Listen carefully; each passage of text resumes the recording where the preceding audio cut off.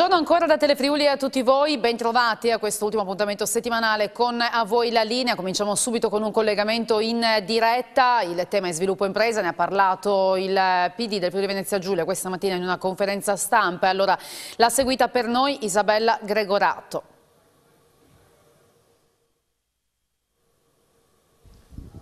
Incontro oggi nella sede della Regione a Udine del gruppo consigliare del PD. Si è parlato soprattutto dello, di sviluppo impresa, le modifiche che devono essere apportate secondo il gruppo consigliare regionale del Partito Democratico. Accanto a me c'è il segretario regionale del PD, eh, Cristiano Sciaurli. Eh, lei ha introdotto praticamente l'argomento anche facendo riferimenti alle, eh, alle, misure che sono state adottate in questo periodo dalla, dalla Regione per quanto riguarda l'emergenza coronavirus coronavirus? Beh, soprattutto le misure che ci aspettiamo che vengano adottate in futuro dal punto di vista economico. Io, ma anche il capogruppo Bolzonello, insieme abbiamo sempre richiesto, anche in questo sviluppo impresa, che si prendesse in considerazione il coronavirus, la Brexit e quello che accadeva nel mondo. Siamo stati derisi sostanzialmente rispetto a questa richiesta. Ora invece è il momento di non fare polemiche, ma di mettere in campo risorse vere per il futuro della nostra economia, delle nostre imprese e dei nostri esercenti. Noi chiediamo questo, abbiamo messo delle proposte serie, le dirà sicuramente il capogruppo, ma anche sulla crisi del da coronavirus chiediamo che ci siano risorse vere e finalmente una regione capace di darsi delle priorità, che abbia una giunta presente e non magari in vacanza, ma che ci dia la capacità di mettere in campo da subito risorse vere per il Friuli Venezia Giulia. Ecco, perché proprio dalla prossima settimana comincerà la discussione per quanto riguarda appunto la nuova norma sviluppo impresa.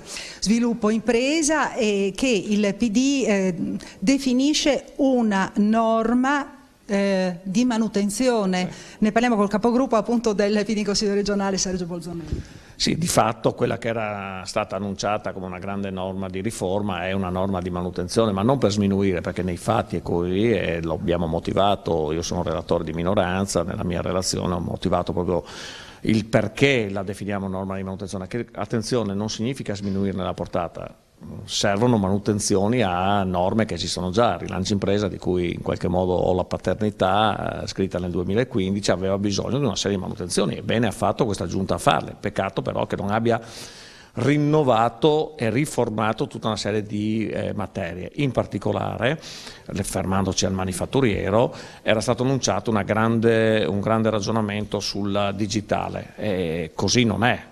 In effetti voi nella vostra proposta eh, avete pensato addirittura di introdurre una trentina di emendamenti, però quattro, eh, vi sono quattro elementi importanti, fra questi appunto la digitalizzazione, poi consorzi industriali, quindi accessi diversi, il terziario avanzato e la sicurezza. Partiamo sì. proprio dalla questione della digitalizzazione, qual è il suo pensiero brevemente? Allora, il tema è conosciuto agli addetti ai lavori, si è investito molto in questi anni in trasferimento strumenti tecnologici attraverso Industria 4.0, oggi c'è la necessità di trasformare tutti questi investimenti anche nella partita digitale. Per far questo serve una norma DOC che in, no, che in questo disegno di legge non c'è noi andiamo, digitalizzazione cosa significa per la gente, perché altrimenti non ci capiamo, significa sposare, e, beh, mettere accanto all'hardware, quindi accanto alle macchine, tutta la partita della software, i grandi big data, quindi eh, tutta la partita dell'intelligenza artificiale, tutta la partita del machine learning, tutto, insomma tutto un mondo che le nostre aziende, piccole e medie, in parte anche le grandi, ancora non hanno. Ecco, poi un elemento di novità, saremmo i primi in sostanza in Italia, stiamo parlando di KIBS. Anche questo è un aspetto nuovo, il Friuli Venezia Giulia anche in questo senso potrebbe fungere da laboratorio per tutto il resto d'Italia. Sì, i KIBS che di fatto è un terziario avanzato, sono aziende di terziario avanzato a sostegno della eh, manifattura, di fatto in Italia non sono normati, mentre sono normati in Germania, in Francia, negli Stati Uniti, la, la stessa Unione Europea attraverso i codici ATECO eh, individua quali aziende possono essere KIBS, tutto questo viene fatto, viene fatto con questa norma di legge e darà possibilità al manifatturiero di avere ancora più opportunità. Ecco, parliamo anche di fondi. Sì. Secondo lei la Regione quanti fondi dovrebbe mettere a disposizione appunto per lo sviluppo delle imprese? In questo caso, per queste due misure che noi proponiamo, sono misure da 10 milioni all'anno, la prima sulla digitalizzazione per tre anni e nel secondo caso 2 milioni il primo anno e 4 e 4, quindi un totale di 10 milioni nel triennio per la parte legata ai eh, KIPS.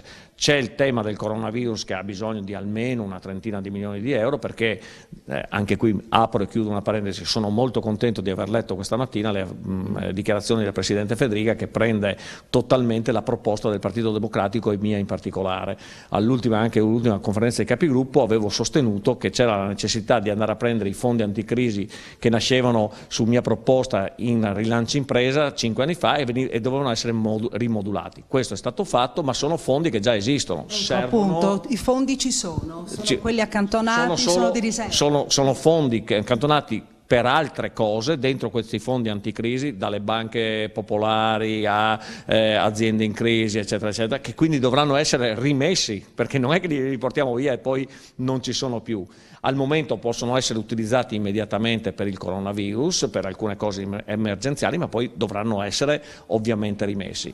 È evidente che non possiamo non partire da un minimo di una trentina di milioni di euro. Quindi un 30 milioni più queste due, un totale di un 40-50 milioni di euro che vanno trovati, vanno trovati nel fondo di riserva che esiste e attraverso una serie di altre poste di bilancio che sono penso al bonus bellezza che è fermo, sono una, un 5-6 milioni di euro fermi da giugno dello scorso anno che non vengono utilizzati. Leviamoli lì e portiamoli dentro a questa, a questa partita. Bene, ringraziamo il capogruppo del PD Sergio Bolzonello, ringraziamo il segretario regionale del PD Cristiano Sciaurli e dal, appunto dalla regione Audine è tutto, restituisco la linea allo studio. Grazie, grazie Isabella Gregorato. Noi andiamo a Sacile ora perché ci sono novità nel sistema della sosta, rimodulazione dei parcheggi, blu disco orario e anche cambio delle tariffe. Per sapere di più ci colleghiamo con Daniele Micheluz. Buongiorno da Sacile, siamo in compagnia del sindaco Carlo Spagnolo. Oggi parliamo dei parcheggi perché ci sono delle novità importanti che riguardano le tariffe e non solo, sindaco. Sì, le tariffe sono una parte, noi eh, stiamo cercando di dare dire, una risposta importante per quanto riguarda la viabilità, in particolare quella ciclopedonale, verrà liberata una parte di Viale Zancanaro per consentire la realizzazione della pista ciclopedonale e in tutto il viale consentirà quindi anche agli studenti e ai ragazzi che si recano a scuola di avere un percorso in piena sicurezza all'interno di un progetto più ampio della città. Questa liberazione ov ovviamente sopprimerà una serie di parcheggi oggi esistenti che verranno posizionati nell'altra via, Viale Trieste, non solo e quindi andremo anche a rimodulare completamente l'assetto la, eh, dei parcheggi connessi anche le tariffe, naturalmente adeguandole, eh, no, ovviamente non solo in aumento, anche in riduzione alla liberazione di parcheggi, anche con, eh, passando da aree blu a pagamento ad aree a disco orario per consentire proprio una maggiore rotazione del, delle persone quindi la possibilità di fruire anche eh, per le attività di tipo commerciale. Ecco, sono, quanti sono i parcheggi interessati e quali le tariffe che avete in mente?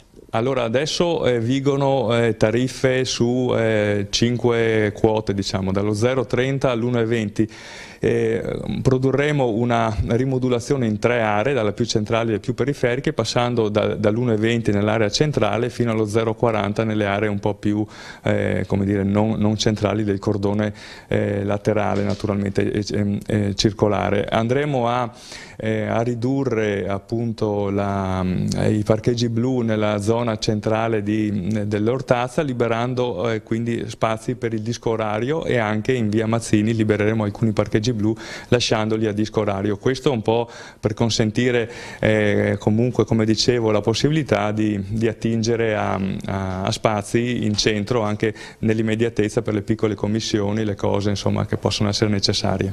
Ecco, cambiando argomento, proseguono i lavori in Foro Boario e lì insomma, si sta andando avanti, qual è il punto della situazione? D due livelli, allora la eh, sistemazione di, del parcheggio che adesso ha bisogno di essere ripristinato nella, nella pavimentazione, quindi tra la fine del del mese di marzo e quella inizio del mese di aprile, tutta la pavimentazione verrà rimessa in ordine e quindi il, il porfido verrà sistemato, ma la cosa più importante, ecco, a Pra Castelvecchio, il famoso progetto del, del parco urbano di cui stiamo parlando da veramente tanto tempo, sta un passetto in più, un passo avanti con il posizionamento della passerella ciclopedonale che congiunge proprio fisicamente eh, l'area di Pracastelvecchio all'area del, dell'ex Tomasella dei, dei, campi di, di Via Carducci, ecco, una connessione di un'area verde molto molto significativa per la città che guarda avanti, guarda al futuro e consente nuovi spazi di ottenere anche per le famiglie, per la socialità, per gli eventi e per eh, lo star bene. E quali sono i tempi?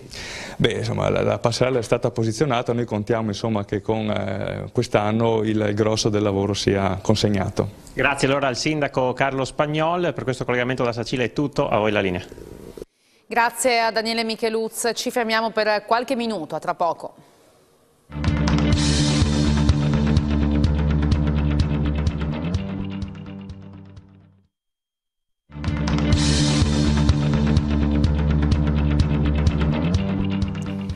Ben ritrovati, andiamo ora a San Daniele per eh, Conosco Ergo Sum, un'indagine curata dall'associazione Leggermente sulla figura di Giulio Camillo, padre del teatro della memoria. Vediamo.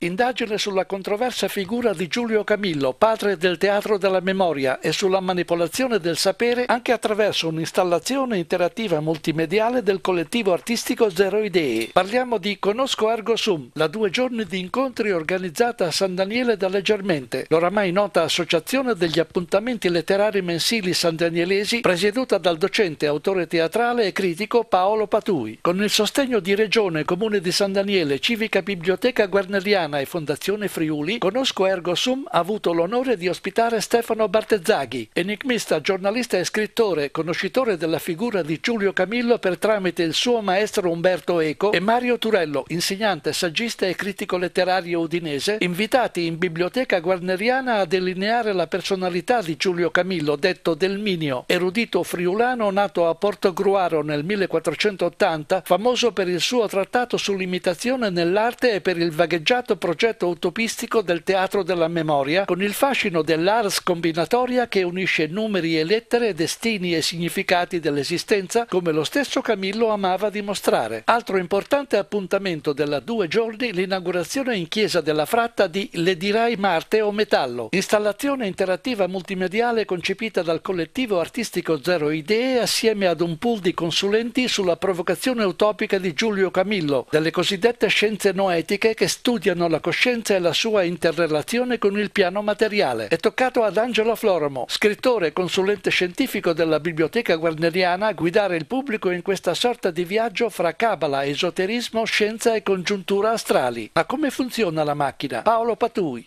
Ne abbiamo immaginato eh, una, un teatro della memoria nei nostri giorni e quindi abbiamo pensato a un grande schermo dove scorrono 49 parole, numero magico per Giulio Camillo. Eh, chi vuole accedere a questa installazione può tramite un pulsante scegliere una di queste 49 parole. In quel momento un algoritmo sotto forma di software, di, di software collega eh, l'installazione a tutti i siti del, del, mondo e va a cercare dentro a questi siti le immagini, le parole, le frasi che riguardano quella parola. Le combina e ne produce sette che vengono stampate in, in un foglio. Sono sette immagini che in quel momento, in questo preciso istante, importante, il mondo ci dà, il sapere universale ci dà eh, sotto forma di, di suggestioni. Ogni um, spettatore potrà eh, prendere questo foglio, portarselo e leggerlo e interpretarlo in base alle suggestioni che però sono variabili, nel senso che noi forse oggi pensiamo di poter accedere al sapere universale, ma forse è il mondo del web che spesso accede a noi e ci suggestiona con immagini, parole e frasi che noi dobbiamo sapere in qualche modo decodificare. È venerdì e quindi è il momento della rubrica Libro nel cassetto a cura di Chiandetti Editore.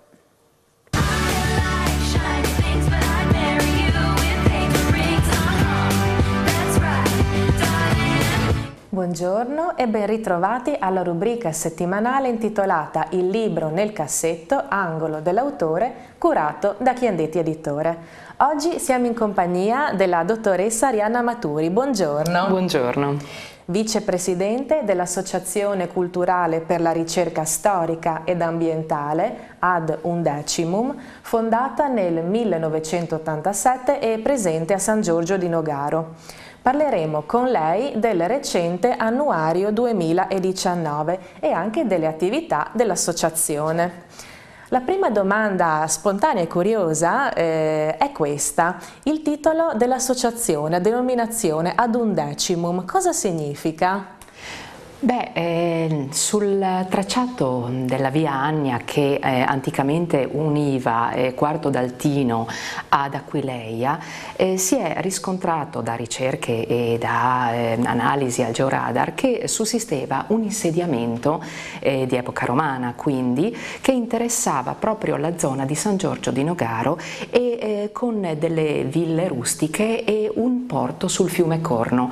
È stata poi trovata sempre al georadar anche una lunga banchina eh, consistente in ehm, tracce anche di mosaico, di tessere di mosaico che sono affiorate alla, mh, mm, alla luce e che testimoniano questa cosa. E c'era anche una stazione di cambio cavalli, cosiddetta mutazio. Essa stava proprio ad 11 miglia da Aquileia e da qui il nome Mutatio ad undecimum, è il primo nome con il quale la zona di San Giorgio di Nogaro è eh, stata identificata anticamente e da qui naturalmente l'associazione prende il nome. Grazie. Quindi dopo la prima domanda ce ne sovviene un'altra. Eh, L'associazione conta di ben 105 iscritti e sono sì. numerosissime le attività che voi svolgete nel corso dell'anno. Gli annuari, che quindi vengono realizzati, come dice la, la parola stessa, annualmente, riportano tutte le attività e gli studi che effettua ad un decimo e divisi soprattutto per tematica. Eh, vuole darci un'infarinatura a riguardo? Sì, riportano soprattutto la parte letteraria dell'attività dell'adundecimum che è effettivamente molto consistente perché poi l'adundecimum spazia in mostre, presentazioni varie, ehm, attività anche proprio sul territorio. Ad ogni modo l'annuario cerca di riassumere un po' tutte queste tematiche, le suddivide divide in argomentazioni che trattano beh, innanzitutto di archeologia che è il tema con eh, il quale la Dundecimo è nata e secondariamente parla della San Giorgio di ieri e di oggi, parla eh, anche di eh, poesia, c'è l'angolo della poesia che tra l'altro ehm, viene espressa in più lingue. E un altro argomento importante dell'annuario è quello che interessa l'ambiente e il territorio, che è un altro degli argomenti con cui l'associazione appunto è nata. Ambiente e territorio significa botanica, significa geologia, significa eh, architettura e ha dato poi la parte ambiente e territorio il là allo studio di terra di acque diversi anni fa già che andava a interessarsi di tutto quello che caratterizza la nostra zona e l'ambiente quindi immerso nell'acqua. Quindi i mulini con i suoi casali, i castelli d'acqua, le olle e la laguna e le leggende, i personaggi e la storia che si possono intessere eh, su tutto ciò. Dallo studio di Terra di Acque eh, è nato poi eh, l'argomento religiosità che si è andato ad accostare e studiando la religiosità e come viene espressa nell'arte eh, è, è, nata quest'anno, è stata presentata per la prima volta ad Itinerania a giugno a San Giorgio di Nogaro la mostra Affreschi senza frontiere. Ovviamente la dottoressa Maturi ci ha fatto solo una breve panoramica rispetto a tutte le attività che ad un decimum organizza eh, durante l'anno. Ricordiamo, se siete interessati a scoprire qualcosa in più riguardo a questa associazione, visitate il sito www.adundecimum.it e ricordiamo anche un, un importante appuntamento. Assolutamente, per tutti coloro che volessero visitare l'Istria durante quest'estate, Ricordo che dai primi di marzo la mostra Affreschi senza frontiere sarà presente nella penisola istriana in maniera itinerante e sarà il fiore all'occhiello che la, eh, la Croazia promuoverà per quanto riguarda il proprio territorio durante il semestre di presidenza dell'Unione Europea. Ringrazio la dottoressa Maturi per questa intervista. Grazie a voi. E se anche voi da casa avete uno scritto al momento nel cassetto riguardante una memoria storica, una biografia, un diario, un romanzo, una raccolta di poesie, potete contattare la nostra casa editrice e realizzare così insieme il vostro sogno. Arrivederci. Arrivederci.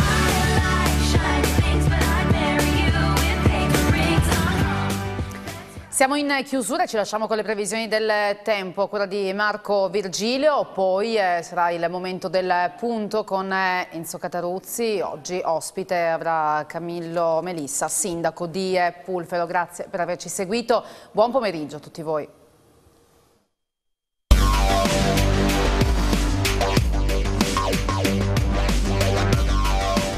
Bentrovati con l'aggiornamento meteo del mattino, dunque oggi sarà una giornata di bel tempo mm, perché un fronte che è interessato un po' le zone occidentali italiane va verso sud ma noi invece saremo direttamente interessati da un flusso settentrionale con correnti più secche e anche più stabili.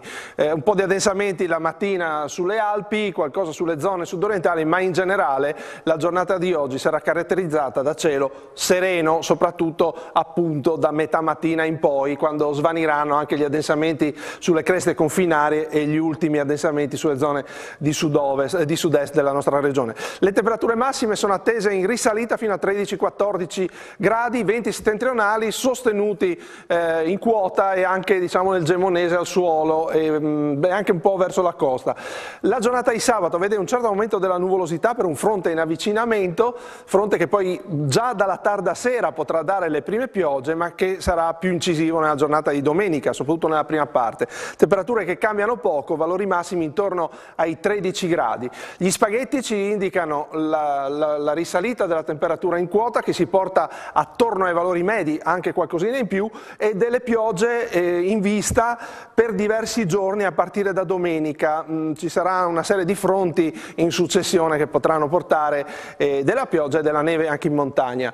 Eh, questo almeno fino al 5-6 del mese. Vediamo la domenica con le piogge, le nevicate in montagna a quote variabili tra i 700 metri delle Alpi interne e i 1200 delle prealpi, la temperatura che aumenta nei valori minimi e cala un po' in quelli massimi, soprattutto eh, verso il pomeriggio, sera, il miglioramento, ma lunedì altra pioggia in arrivo, gradualmente nel corso della mattina, tempo in peggioramento, con piogge in intensificazione il pomeriggio e la sera, nevicate a quote variabili tra i 900 e i 1400 metri e il peggioramento più intenso lo avremo ancora nella giornata di martedì, quando arriverà dell'aria un'area un po' più umida e anche eh, un po' meno fredda in quota, tanto è vero che la quota neve inizialmente sarà alta, poi però col passaggio del fronte scende di nuovo ai 700 metri in zona Tarvisiano e Valcanale. E poi il miglioramento relativo nella giornata di mercoledì cessano le piogge, temperature di nuovo in lieve aumento. Io direi che ho detto tutto, eh, stasera non ci sarà meteo weekend per lasciare spazio alla mesa, ma le previsioni del tempo sì, quindi ci vediamo più tardi, arrivederci.